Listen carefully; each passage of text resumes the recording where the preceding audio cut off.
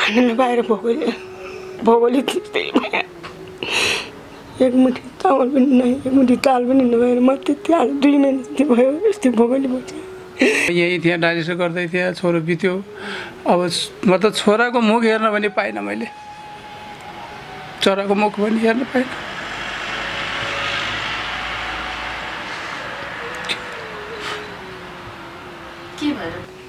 दरदर दुध खाएँ दस महिना पेटमा आएर त्यसले मलाई छोराले आज छोरालाई मैले गोन्ठामा आज छोरा भन्नु नपाउने भए मैले नाति नातिना बिचल्लीमा बसिरहेको छु मैले खाने केही नै होइन बारीमा झारबाट टिपेन तरकारी पकाएँ यता बिरामी मान्छेलाई खुवाएँ मैले आज मैले जिन्दगीमा नपाउने कुरा आज एउटा छोरा थियो।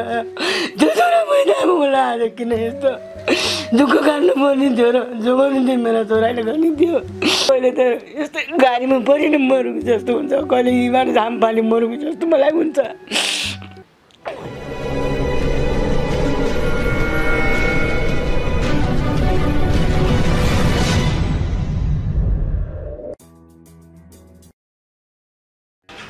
नमस्कार दर्शकबिन म गङ्गा थापा। हार्दिक स्वागत गर्दछु। आज चाहिँ म कलङ्कीमा छु। र कलङ्कीमा दुईजना श्रीमान र श्रीमती हुनुहुन्छ। अहिलेको यो लकडाउनको अवस्थामा उहाँहरूले भोग्नुभएको परिस्थिति जीवनको कठिनाइहरू विभिन्न किसिमको समस्याले झेलिनु भएको रहेछ जीवनमा।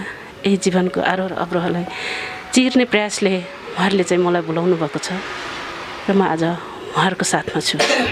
सुरु गरौँ उहाँहरूबाट उहाँहरूको जीवन कथा लकडाउनको परिस्थितिमा उहाँहरूले भोग्नु भएको कुराकानी छ। म यहाँहरू समक्ष प्रस्तुत गर्नेछु। स्वागत छ दुवैजनालाई। धन्यवाद। धन्यवाद। हजुरको नाम भन्नुहोस्। मेरो मनका भण्डारी। मनका भण्डारी। हजुर। के छ अहिले तपाईँहरूको अवस्था यो लकडाउनमा लकडाउनमा अवस्था धेरै कमजोरी छौँ अनि हामीले कमजोरी भएर यस्तो आज लकडाउन नहुँदासम्म हामीले अलिअलि केही बाटोमा बसिन अलिअलि मागेर बुढाको उपचार गरिराखेको थिएँ। आज त्यही पनि यस्तो लकडाउनले गर्दाखेरि म घरमा धेरै मलाई आर्थिक अवस्था कमजोर भइ होइन म आज। खान नपाएर भोगोले भोगोले त्यस्तै भयो एक मुठी चामल पनि नै एक मुठी दाल पनि नभएर म त्यति हाल दुई महिना जति भयो यस्तै भोगोले बस्यो मेरो घरमा कोही पनि छैन। नाति नातिना मेरा घरमा बिचल्ली भएका छन्। तिनलाई मैले माया दिनु पनि पाएको छुइनँ अनि यस्तो अवस्थामा मैले बाह्र नबसिनँ बुढा हो। यस्तो भएर बस्नु पऱ्यो आज मलाई कोही मेरा दाजुभाइ दिदीबहिनीहरूले मलाई केही सहयोग गरिदिनुहुन्छ कि भने अ, लकडाउनभन्दा अगाडि चाहिँ तपाईँहरूले कसरी चलाउनुहुन्थ्यो भन्नुभयो? मैले बाटोमा बसेर सहयोग माग्थेँ। दिनमा दुई तिन दुई तिन सय पैसा हुन्थ्यो। त्यसैले गुजारा चलाइदिएँ भाडा। यत्रो भाडा हेर्नु त्यो पनि त्यस्तै छ मलाई। धेरै समस्या गाह्रो छ। दुवैजना बिरामी भन्ने सुनिन्छ। दुवैजना बिरामी मैले के त्यही त मैले अरू काम गर्न नसकेर त्यही बाटोमा बसिनँ। सहयोग माग्थेँ मेरो पनि तिन फेर अपरेसन भएको छ। बुढाको अहिले यत्रो दुई दिन मृगौला यस्तो भएको छन्। मैले यसै मागी मागी नभए घरमा कोही पनि भयो भने मलाई सहयोग दिनु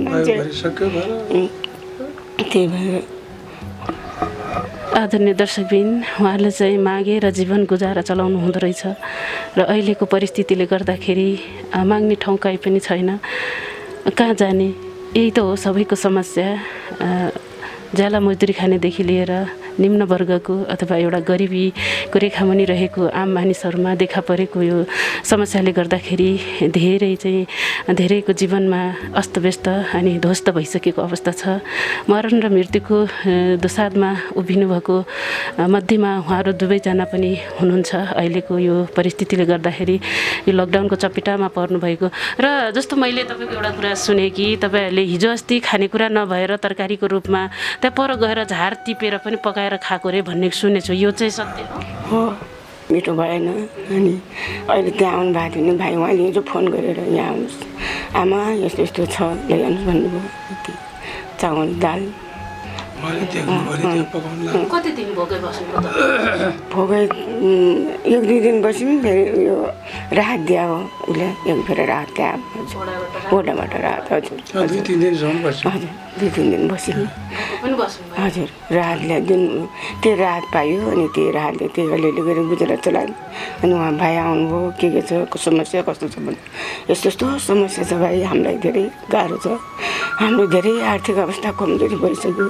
अनि एक रुपियाँ पनि छैन होइन? तरकारी खाने पैसा पनि छैन चेक गराउने पैसा पनि छैन। के गरौँ कसो गरौँ कस्तो गर्दा होला भने यस्तो यस्तो गर्नु भनेर उहाँले सबै भन्नुभयो। उहाँले चाहिँ तपाईँहरूलाई अब तपाईँहरूको अन्तिम अवस्था भनेकै हजुर त्यही भन्नुभयो उहाँले यस्तो यस्तो हुन्छ म यस्तो गराउँछु तपाईँहरू गर्नुहोस् तपाईँहरू धेरै धेरै हार नगर्नुहोस् अनि दिल नदुखाउनु ठुलो बनाउनुहोस् म यस्तो यस्तो गराइदिन्छु तपाईँहरूलाई भगवान्ले पुऱ्याउँछन् भन्नुभयो मेरो प्रकाश भण्डारी। हजुर मेरो दुइटै दुइटै मेरो गोलापेटी दुइटै। हजुर। अडसट्ठी सालदेखि हो। अ, एक वर्ष जति मैले इन्डियामै डायलिसिस गराएँ अनि मतलब बिना मेरो उहीँ गएको थिएँ। इन्डिया अनि त्यहाँबाट उहीँ डायलिसिस गराएँ एक वर्ष जति अनि आएर उन्सत्तर चैतको महिनादेखि यहाँ बरस्थलीमा डायलिसिस गराइराखेको छु। पहिला मैले अब सत्तर पचहत्तर हजार सत्तर पचहत्तर हजार खर्च हुन्थ्यो। सबै चेक चु गरन्जेल यता उ गरन्जेल त। इन्डियामा लगभग छ लाख छ लाख जति सकेँ मैले इन्डिया हजुर एक वर्षमा। अनि अब अनि यहाँ आएँ। अहिले त कसरी चलाउने? हजुर मैले त अब भने अब सबै सम्पत्ति अब सकिएले। मसित एक रुपियाँ पनि पनि छैन अहिले जग्गा। मेरो अहिले यतिखेर त साह्रै नाजुक छ? हजुर आज पनि डायलिसिस गरेर आएँ अब। यस्तो छ यही। डायलिसिस गरेर आएको हुँ। अनि हप्तामा दुईचोटि गर्छु। गाह्रो त गाह्रो हुन्छ। अब त्यो डायलिसिस गऱ्यो। एक दुई दिन अब अलि त आराम हुन्छ फिल्टर हुन्छ होइन। आराम हुन्छ अनि फेरि त्यहाँबाट फेरि अब त्यत्तिकै हुन्छ फेरि अब डायलिसिस गर्ने भइगयो हप्तामा दुईचोटि गर्छु। अनि अब पहिला पहिला अब अलिअलि अब अलिअलि बेच्दै बेच्दै खर्च चलाउँदै बेच्दै खर्च चलाउँदै गरियो। अब सकिगयो। अब अलि त छ अब बुढीका नाउँमा छ अलि त घरबास। त्यही पनि ब्याङ्कमा छ। अनि अब मेरो मेरो नाममा त अब एक रुपियाँ पनि एक आना जग्गा पनि छैन। अनि म त सुकुमबासी छु। केही छैन अहिले त अब उता नाति नातिना छन् छोरो म यहीँ थिएँ डायलिसिस गर्दै थिएँ छोरो बित्यो। अब स- म त छोराको मुख हेर्न पनि पाइनँ मैले। छोराको मुख पनि हेर्न पाइनँ।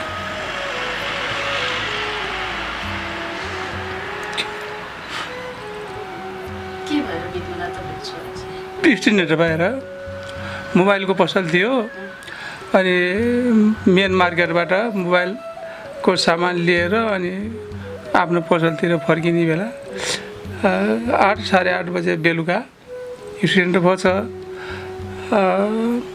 अनि भएपछि पछि कसले भन्दै थियो पुलिसहरू अब गए हुनन्। अब को ढल्या छ रोडमा भन्यो पुलिसहरू गए हुन् पुलिसले उठाएर लगेका छन् हस्पिटल गरेका छन्। मलाई मैले देख्नै पाइनँ। मैले पनि देख्नै पाइनँ। भन्नाले अठाइस वर्ष हो। अठ उन्तिस वर्षको हजुर। सत्तर साल। हजुर हजुर हजुर। छो? एउटा नाति छ एउटा नातिनी छ। नातिनी सात यो वर्ष भन्नाले एउटा छोराको छोरा होइन? हजुर। छोरा बुहारी अहिले नाति नातिनाहरू चाहिँ हुनुहुन्छ तपाईँको अँ, न- छोरो अब गइगयो अब नातिनी नातिनी छ नाति छ अब छोरी आएको छ उसले। बुहारी अब अब ऊ बुहारी पनि अहिले सत्ताइस वर्षै भई कहिले माइत बसे कहिले आउँछ अब बसे अब घरमा त छैन तर जहाँ छोरो छोरीका र अ, छन् नाति नातिना। त्यही आउँछ दुई चार दिनमा बस्यो फेरि अब माइततिर गर्छ। अब उसलाई पनि के भन्ने? अनि ज्वरो छैन अब ऊ पनि अब भर्खर छ भनौँ आदरणीय दर्शकबिन उहाँको एउटा छोरा हुनुहुँदो रहेछ। छोरा चाहिँ अट्ठाइस उन्तिस वर्षको उमेरमा चाहिँ बित्नुभएछ र अहिले उहाँहरू एक्लो हुनुहुन्छ। छोराछोरीको सहारा छैन काठमाडौँको बसाइ छ र घरमा यो काठमाडौँको घरको कोठा भाडा तिरेर बस्नुहुन्छ। यति बेला त तिर्ने अवस्था पनि छैन। मागेर जीवन गुजारा गर्नुभएको उहाँहरूले चाहिँ अहिलेको यो परिस्थितिमा खाने खर्च केही नहुँदाखेरि घरमा खाने खर्च नभइसकेपछि झारपात टिपेर खाने गरेको भन्ने सुनिसकेपछि हामीलाई पनि हामी गइदिनुपर्छ जस्तो लाग्यो र हामी यहाँसम्म आएर उहाँहरूको कुराकानीलाई यहाँहरू समक्ष प्रस्तुत गर्दैछौँ। जस्तो तपाईँले छोरा चाहिँ सम्झना त दिनरात मेरा मुटुमै छ छोरा। सम्झना त मैले सानोजनाहरू हुर्काएँ बढाएँ दस दर दुध खाएँ दस महिना पेटमा खाएँ आज त्यसले मलाई छोराले आज छोरालाई मैले गोन्ठामा आज छोरा भन्नु नपाउने भए मैले नाति नातिना बिचल्लीमा बसी आज नाति नातिलाई मैले माया नदिनु पाउने भए छोरालाई मैले छोरो बिताएरमा मैले छोरालाई मैले माया दिन पाइनँ मैले कसैले मैले मलाई जगाएन छोरालाई मलाई कसैले आज मलाई यो अवस्थाले मलाई पालन बसिनु विषयमा होइन बुढालाई मैले दबाई पानी यस्तो गर्नु पाएँ मलाई मेरो घर सन्तान पनि कोही रहन्छ नि हेर्ने मलाई आज यस्तो बिजुलीमा बसेर मलाई यस्तो काठमाडौँबाट आमा बिजुली भएन मलाई भन्नु पऱ्यो यस्तोमा मेरो मलाई कोही दाजुभाइ दिदीबहिनीहरूले मलाई केही सहयोग गरिदिनुहुन्छ कि भन्ने हार्दिक अनुरोध गर्दछु मलाई यो अवस्थामा आज के भयो यस्तो मेरो जिन्दगी किन यस्तो म एउटा छोरा थियो छोरी टुटी छन् छोरीले पनि कति हेरुन् कति हेरुन् छोरीले पनि छोरालाई मैले आज दिनरात मैले मुटुमा राखेको छु मेरा छोरालाई मैले देख्न पाइनँ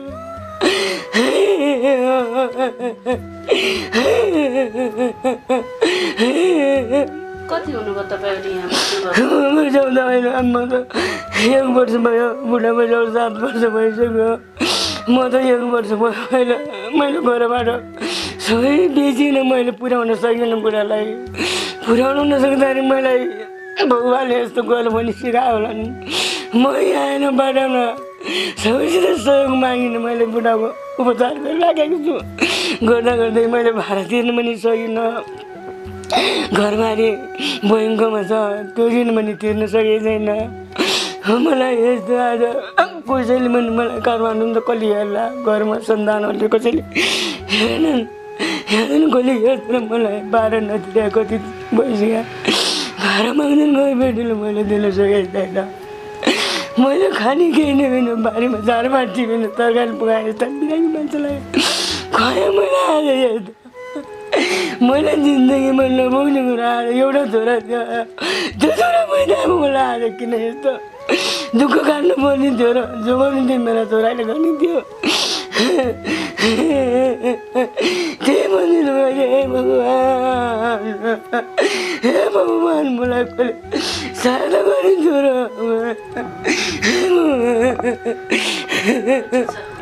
दर्शकबिन निकै भक्कानी भए भक्कानिनु भएको छ। उहाँले आफ्नो छोरालाई सम्झिनु भएको छ। छोरा भइदिएको भए सायद यो दुःख हुँदैन थियो होला भन्ने कुरा उठाउनु भएको छ उहाँले।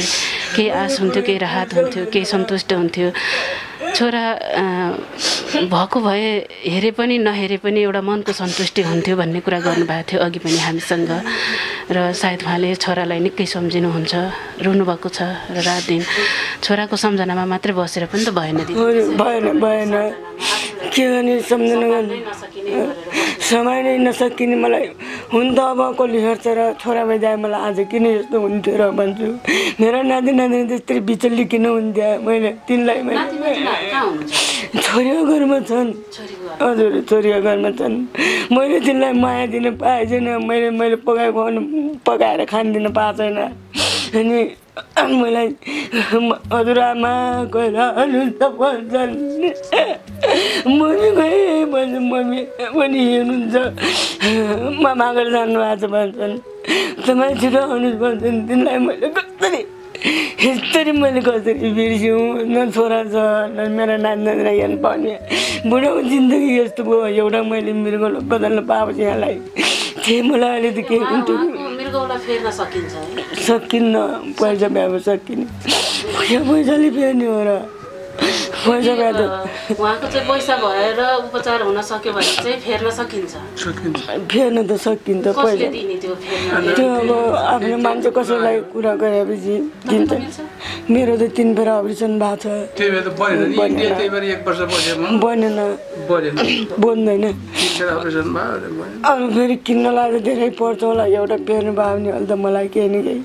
आरोदार हुन्थ्यो। मलाई यस्तो नरुनु होइन। तपाईँको छोराको रूपमा चाहिँ तपाईँको नाति नतिनाहरू हुँदो रहेछ। उहाँहरूको मुख हेऱ्यो भने तपाईँले ल्याउनुपर्छ। त्यसरी रोएर आफूलाई कमजोर बनाउनु म म- हो हुन त अब तिमीलाई कसरी पढाऊ कसरी हुर्काऊ कसरी के गरौँ बुढाको बुढा राम्रोमा तपाईँको छोरा त गुमाउनु भयो तर बुहारीले हेर्दैन नि तपाईँहरूलाई बुहारी बिचारो जागिर सागिर केही पनि छैन। सानो पसल त्यही पसल गरेको थिएँ। त्यही इलेक्ट्रोनको पसल गरेको थियो छोराले। त्यही गरी बिचरा तिन वर्षसम्म गरी थियो पनि धेरै ऋण अब केटा मान्छेले गर्ने केटीले कहाँ सक्छ त्यो? त्यसले पनि सकिनँ ऋण भयो अनि मैले सक्दिनँ आमा भने। ठिकै छ नसकिने पनि नानी नानीसित बस भने। अब ती घरमा बस भने म बस्दैन घरमा म बस्न सक्दैन भने। अनि ती नाति नाति नातिनासित बस्छ कहिले कहिले माइत जान्छे ती बस्छ अब त्यसलाई मैले छोरो छैन। बस भने मैले भन्न पनि सक्दिनँ कसरी सक्ने? बस्छु भन्छ बस्नु त बस भनेको छु मैले। अनि केही छैन जागिरी त्यही सानो त्यही पसल थियो त्यो पसल पनि छैन। अनि त्यो पनि बेचगुन भइगयो सम्पत्ति पनि बेचियो सबै सम्पर्कमा आउनुहुन्न उहाँले के भन्नुहुन्छ तपाईँहरू? यसरी चिल्लीबिल्ली भएर अब खाने नपाएर काठमाडौँको बसाइमा उपचार नपाएर यसरी बस्नु भएको छ केही कुरा उहाँले बुहारीले भन्छ भन्न त मेरो पनि केही छैन। क्या गरौँ आमा? अनि हामीलाई भगवान्ले किन यस्तो बनाए बिचल्ली? यिनी छोराछोरीलाई मैले कसरी क्या गरौँ भन्छ उसले पनि भन्छ भन्न त बिचरा। उसलाई पनि केही दोष छैन। त्यही नानी नानीसित त्यही सानो सानो छोरीको पसल छ। त्यति बस्छे अनि अनि छोरीको जान पनि अब तिन भाइ बहिनी छन्। उनीहरूले आफ्नो छोराछोरीलाई पढाउने लेखाउने गर्छन्। अब मेरो कति वर्षका छन् नाति नातिनाहरू नातिनी अहिले सात वर्षकी भइ छ छ पुगी सातमा लागि। नाति सात पुगी आठमा लागेको छ एक पनि अठार महिनाको फरक हुन् एकै नाचेछन् दुइटा जाइन बच्चाहरू एकै नाचेछन् के गरौँ मलाई? अरू नगर नपर भएँ म खान नपाएन नि यहाँ यस्तो खान नपाएन भए अब बच्चाहरू मैले घरबाट केही गर्न पाइनँ अनि अब सबैले भन्नु लाग्यो तेरो यहाँबाट केही छैन। अनि बुवालाई पनि यस्तो यस्तो हुन्छ। यहाँ पनि धेरै जाने आउने मान्छे पनि छैन। जाने बस्ने यस्तो यस्तो गर सहयोग दिन्छन्। अनि पशुपति जाऊ बस सहयोग दिन्छन्। दिनमा एक दुई सय भयो भने धेरै होला औषधि पानी होला भनेर त्यहाँ आयो। त्यसरी मागेर बस्दाखेरि कतिको सहज हुँदो रहेछ सस्तो त कहाँ सहज हुनु सबैले कसैले त अब टिठाउने यस्तो रहेछ भन्ने कसैले त दिन कोही कोही कोही टाइममा कसै कसैले दुई सय तिन सय दिने कसैले होइन यो त बलै हो अनि त जिउ पाल्न अब त बसिरहेको यो अनि कहाँ माग्ने यो त यसको यस्तो कहाँ यति त कति छन् कति यस्ता मृगौला पीडित यो त जिउ पाल्न अब त बसिएछ बाटो नभन्ने म त असन्धा राति रुन्थेँ हेर्नु बस्नै सक्दैन त्यहाँ ती रुने छोरालाई सम्झिने रुने आज मलाई। यस्तो मलाई घरमा छोरा भइदियो किन मलाई बाटोघाटो बसिने यसरी मागिने बुढालाई औषधि गर्नुपर्छ भनेर मैले त्यस्तो त्यस्तै गरी गरी आश्रम गरेँ झन् यो लग्दा आएन मलाई यस्तो बिचल्ली मलाई यस्तो बनायो। के गरौँ कता के गरौँ भनेर त्यस्तै बजे अस्ति त्यो भाइ आउनुभयो त्यहाँले सबै कुरा भन्नुभयो। यस्तो यस्तो गर्नुहोस् अनि भन्नुभयो त्यो यहाँ पकाउनु लाग्दैन देख्नु भएको थियो त्यहाँले यस्तो तरकारी पकाउनु लाग्नु भने भोलिपल्ट बिहान बोलाउनु भयो दाल साल बनाइदिनु भयो ल्याइदिनु भयो। आदरणीय दर्शकबिन जिन्दगीको आरो र अवरोमा दुःख सुख गरेर उहाँहरूले जीवन गुजारा त चलाउनु भएकै रहेछ। हिजोको दिनमा जो मागेर काम चलाउनु भएको रहेछ घरबार चलाउनु भएको रहेछ श्रीमानको उपचारदेखि लिएर आफ्नो उपचार गराइराख्नु भएको रहेछ भने अहिले लकडाउनको क्रममा गर्दा उहाँहरूले निकै दुःख खेप्नु भएको छ। छोरालाई सम्झिनुहुन्छ नाति नातिनालाई सम्झिनुहुन्छ निकै भक्कानिनुहुन्छ छोराको सम्झनाले धेरै धेरैभन्दा धेरै मुटुमा गहिरो पीडा छ छोराको सम्झनाले होइन? तपाईँले दिनरात छोरा सम्झिनुहुन्छ। हुन पनि हो दर्शकबिन यदि छोरा भइदिएको भए यो अवस्थामा अहिले खान पाए पनि नपाए पनि एउटा सन्तुष्टि हुन्थ्यो। छ भन्ने वातावरण त हुन्थ्यो। मैले पनि दुःख पाउने थिइनँ किन यहाँ आउँदा जो गर्ने थियो छोराले गर्ने थियो नि जस्तो पनि आफ्ना बुवालाई उपचार थियो। आज किन यस्तो दुःख पाउने र गाउँघरका मान्छे भन्ने यस्तै हुन् हजुरलाई थाहा होला। रमाउने रमाउने त हुन् कोहीले कठै भन्ने कोही पनि छैन सबै रमाउँछ। त्यही भएर मलाई धेरै उजहरू के गर्ने मलाई यस्तो अपराध भएर भन्नु पऱ्यो काठमाडौँमा मलाई कोही दाजुभाइ दिदीबहिनीहरूले मलाई सहयोग गरिदिनुहुन्छ भने म बिन्ती गर्दछु। हे मेरा दाजुभाइ दिदीबहिनीहरू मलाई हजुरहरूको कोही सानो सहयोगले मेरो आर्थिक अवस्था कमजोर छ मलाई सानो हजुरहरूको सहयोगले मलाई केही हुनसक्छ भन्ने मैले बिन्ती गर्दछु अनि कति वर्षको उमेरले दुवैजना यहाँ हुनुभयो सन्ताउन्न अन्ठाउन्न वर्ष हुनुभयो म म छपन्न वर्ष दर्शकबिन श्रीमान सन्ताउन्न वर्षको र श्रीमती चाहिँ चौन्न वर्षको भन्नुभएको छ। छेपन्न छेपन्न वर्षको भन्नुभएको छ। उहाँहरू दुवैजना कलङ्कीमा बस्नुहुन्छ एउटा घरमा कोठा भाडा लिएर बस्नुभएको छ। दुवैजना चाहिँ बिरामी हुनुहुन्छ यो अहिलेको अवस्थामा। बिरामी साथसाथै भुकुमारी पनि छ रोगमारी पनि छ। र हामी हामी आज कलङ्कीमा आएर उहाँहरूको बारेमा कुराकानीलाई यहाँहरू समक्ष प्रस्तुत गर्दैछौँ। र तपाईँहरूको स्थायी ठेगाना चाहिँ कहाँ ठेगाना सल्यान। सल्यान। हजुर दाङ सल्यान। हजुर। सल्यान। त्रिवेणी गाविस वडा नम्बर चार। बस्ने गएर गाउँ घर चाहिँ। तपाईँको आफ्नो भएको घर जग्गा जमिन पनि उपचारमै सकियो। उपचारमा सक्यो। अलिअलि भएको धितोमै छ। धितोमा राखेर उपचार गरिसक्यो। हजुर। केही अब आएर सबै सक्यो अनि त्यहाँबाट नत्र अब खर्च पठाइदिन्थे। त्यही त बुढालाई भन्छु सकिन्न सबै सक्यो अनि सकिएपछि सकिएपछि के गर्यो त बुढी बाध्यता भएर बुढी आयो अहिले एक वर्ष भयो। बाध्यता भयो म आएँ सबै अब बेच्दै पठाउँदै गरे सन्जेल बुढीले सक्यो अनि त्यहाँबाट आइपुग्यो। हजुर। अब छोरा छैन सल्लाह दिने मान्छे कोही पनि छैन। अनि के यस्तो नगरौँ यस्तो गरौँ आमा भन्ने कोही गयो हुन्छ कोही नै। अब त्यही गरेँ त्यही बेच्दै गर्दा गर्दा गर्दै धितोमा गइसक्यो त्यो। धितोमा छ अब त्यो ऋण कसरी तिरौँ के गरौँ भन्ने मलाई तपाईँको? त्यसको त तिन लाख पच्चिस हजार ल्यायो हजुर त्यति छ। हजुर। जमिन फिर्ता हुन्छ हजुर। अहिले यतिखेर बुवालाई उपचारको लागि चाहिँ कति खर्च जति लाग्छ? अहिले त यहाँलाई डायलिसिस फ्रीमा छ। उपचार हप्तामा दुईचोटि छ सात हजार खर्च हुन्छ। औषधिको लागि। अनि अहिले उ त्यो चेकअप गराउने एउटा चार हजारको चेकअप छ एउटा तिन हजारको चेकअप छ एउटा पच्चिस सौको छ। त्यो चेकअप गराउनु पनि पाएको छैन मैले पैसा नभएन हजुर त्यो चेकअप गराउनु पनि पाएको छैन पैसा छैन। अब के गर्ने आज अब पैसा छैन अहिले पैसा भएपछि दिउँला भन्दा नै पैसा चाहिन्छ भन्नुहुन्छ। त्यति चेक गरिदिनु रहन्छ अनि पैसा चाहिन्छ हस्पिटलमा गर्ने रहन्छ।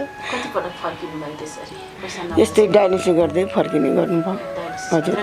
हजुर डाइ औषधि त्यो औषधि थोरै थोरै खानुहुन्छ अरू भएको औषधि ल्याउनु पाएको छैन।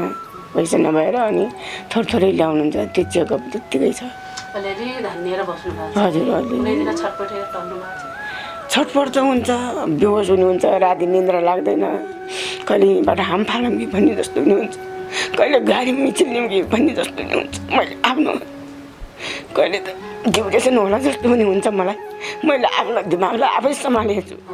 मलाई त धेरै छ नि। म पिरा बुढाको पिरा छुटै छ छोराको पिरा छुटै छ बुहारीको पिरा छुटै छ। पिरा नाति नातिनाको पिरा छुटै छ मलाई। म त कहिले त यस्तै गाडीमा परि नै मरौँ जस्तो हुन्छ। कहिले हिमाल झाम पाली मरौँ जस्तो मलाई हुन्छ। मैले आफ्नो दिमागलाई मैले आफै कन्ट्रोल राखेको छु। के गर्नु मलाई जस्तो कोही संसारलाई छैन जस्तो छ आज। के अर्को छोरा भइदिए अब अर्को छोरा छ भन्ने पनि थियो छोरा एउटै थियो मेरो। दुइटै छोरी पनि एउटा छोरो अरू कोही छैनन् मेरा। हामी लगभग लगभग अन्त अन्त हेर दुवैजनाले सम्पूर्ण हेरेर बस्ने दर्शकहरू समक्ष चाहिँ के भन्न चाहनुहुन्छ? तपाईँ हाम्रो सहयोग दर्शक मिलहरू हुनुहुन्छ उहाँहरू धेरै सहयोगी हुनुहुन्छ। नेपालका दाजुभाइ दिदीबहिनीहरू देश विदेशमा बस्नु पनि हुनुहुन्छ होइन? उहाँहरूले धेरैलाई सहयोग गर्नुहुन्छ। तपाईँहरूले कसरी सम्झाउन चाहनुहुन्छ उहाँहरूलाई अब दाजुभाइ दिदीबहिनीहरूले उहाँहरूले हामीलाई केही सहयोग गरिदिनु हुन्छ कि भन्ने धेरै अरू अनुरोध गर्दछु अनि अरू के भन्न चाहन्छु? भन्नुलाई तपाईँले के भन्नुहुन्छ? हजुर। हेरेर त त म भन्न चाहन्छु कि अब मेरो अवस्था यस्तो छ। अनि सबै अब दाजुभाइ दिदीबहिनीहरू देश विदेशतिर भएका कसैले मतलब हेर्नुभयो उ गर्नुभयो भनेपछि केही अलि दया अलि त गर्नु चाहिँ भन्ने आशामा छु।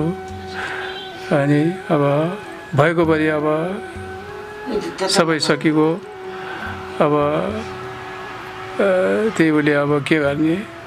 कहीँ अब बुढीले बाटामा उ गरेर उ गर्थ्यो त्यो पनि हरिको यो लक लकडाउनले गर्दाखेरि। अनि दर्शकबिन धमिलो मन अनि अमिलो मन जिन्दगीको ओह्रालो र उकालो। उकाली र ओह्रालीमा हाँसी र खुसी जिउने सबैलाई रहर हुन्छ। तर बाध्यतावंश उहाँहरूले अहिले लकडाउनमा परेर केही काम छैन। काम भनेको उहाँहरूले सक्ने काम भनेको मागेर जिन्दगी जीवन गुजारा गर्नुभएको रहेछ। दुवैजनाले परिवार पनि हुनुहुँदो रहेछ। तर अहिले कलङ्कीमा चाहिँ दुईजना मात्रै बस्नुहुँदो रहेछ। र अहिले उहाँहरूको स्थिति चाहिँ एकदमै नाजुक भइसकेको अवस्था उहाँहरूले सम्पूर्ण कुराहरू यहाँहरू समक्ष राख्नु भएको छ। आफ्नो कथा आफ्नै व्यथा। एउटा घर परिवारलाई चलाउनको निम्ति उहाँहरूले हिजोको दिनमा मागेर चलाउनुहुन्थ्यो भने आज यो लकडाउनको अवस्थामा कहीँ कतै केही नभइसकेपछि झारपात खाएर बाँच्नुभएको अवस्थामा सानो पूर्व छाने मगर दाजुले भेट्नुभएछ। उहाँले चाहिँ आफ्नो तर्फबाट चाहिँ उहाँहरूलाई खाद्यान्न सामग्री उपलब्ध गराउनु भएछ। त्यस पछाडि हामीलाई सम्पर्क गर्नुभयो र हामी यहाँहरू समक्ष उहाँहरूको कुराकानी लिएर तपाईँहरू समक्ष प्रस्तुत भयौँ। र मलाई के लाग्छ भने जति पनि नेपाली दाजुभाइ दिदीबहिनीहरू हुनुहुन्छ देश विदेशमा बस्नुहुन्छ बुवा आमा सम्पूर्णले धेरैलाई साथ दिनुभएको छ धेरैलाई सहयोग गर्नुभएको छ। उहाँहरूलाई पनि अवश्य एकचोटि सहयोग गर्नुहुनेछ भन्ने म पूर्ण आशा राख्दछु। गङ्गा थापा बिदा चाहन्छु। नमस्ते।